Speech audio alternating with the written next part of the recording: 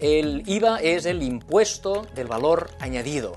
Uh, a pesar de que tiene un nombre extraño, uh, en realidad es un impuesto sobre el consumo que pagan los consumidores cuando compran productos o, cuando compran, contratan uh, bienes. A diferencia del IRPF, que es un impuesto directo, es decir, que los que están grabados pagan directamente al Estado, el IVA es un impuesto indirecto.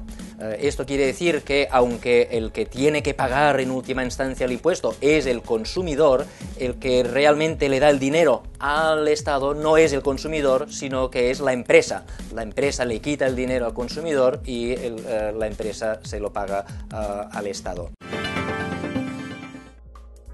En España actualmente hay cuatro tipos de productos grabados con cuatro tipos de eh, eh, cuatro tipos impositivos distintos. Hay unos eh, productos que no pagan IVA, que tienen un impuesto cero.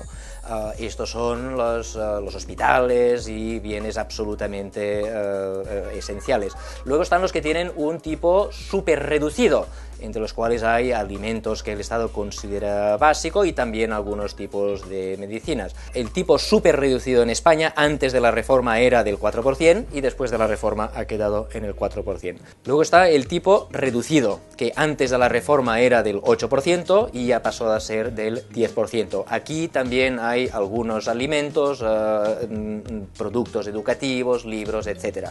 Y luego están la mayoría de productos que pagan el tipo normal, el tipo normal que antes de la reforma era del 18% y que con la reforma ha pasado a ser del 21%. A diferencia del IRPF, el IVA no es progresivo, es decir, los ricos no pagan un IVA superior a los pobres.